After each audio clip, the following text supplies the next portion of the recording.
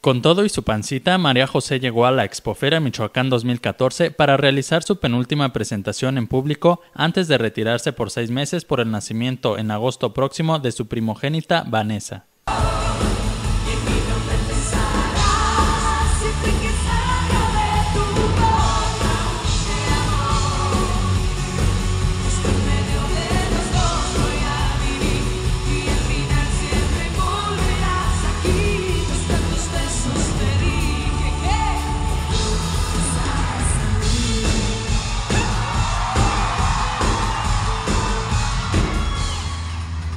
En rueda de prensa, previa a su aparición en el escenario, afirmó esta separación de los reflectores es momentánea, pues aún hay mucho que ver y saber de ella como el próximo disco que espera lanzar en 2015. No, no, no, no, no se van a librar de mí.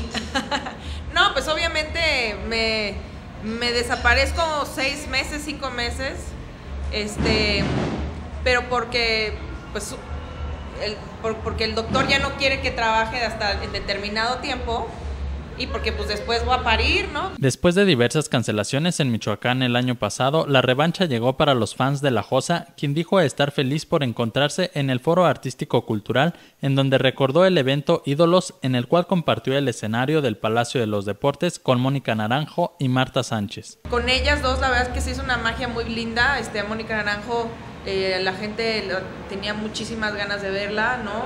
Eh, Marta Sánchez había estado en unos programas también en otra televisora, entonces estaba más, más vigente, ¿no? Sonriente, divertida, bromeando y destacando las bellezas que tiene el Estado, María José dijo no está entre sus planes un reencuentro con sus excompañeros de Cabá, pese a que el público lo anhela, reiterando este grupo no hace falta en la escena musical del país, aunque sí siguen en el recuerdo de la gente. La verdad lo veo, lo veo difícil y es una nostalgia linda recordar Cabá y claro, o sea, a mí me encanta que venga Mecano otra vez o me encantaría que, este, no sé, por eso yo creo que Ben y Sasha y Eric están teniendo tanto éxito, ¿no? Por esta nostalgia. No creo, o sea, no creo que haga falta, o sea, no, no es así algo que, ah, Cava tiene que regresar, no, yo creo que hay muchísima música y hay, una, y hay un recuerdo de Cava que está.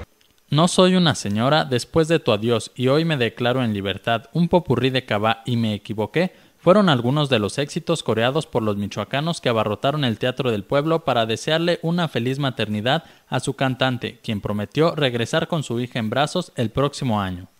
Con información de Felipe Bárcenas informa Cuasar TV.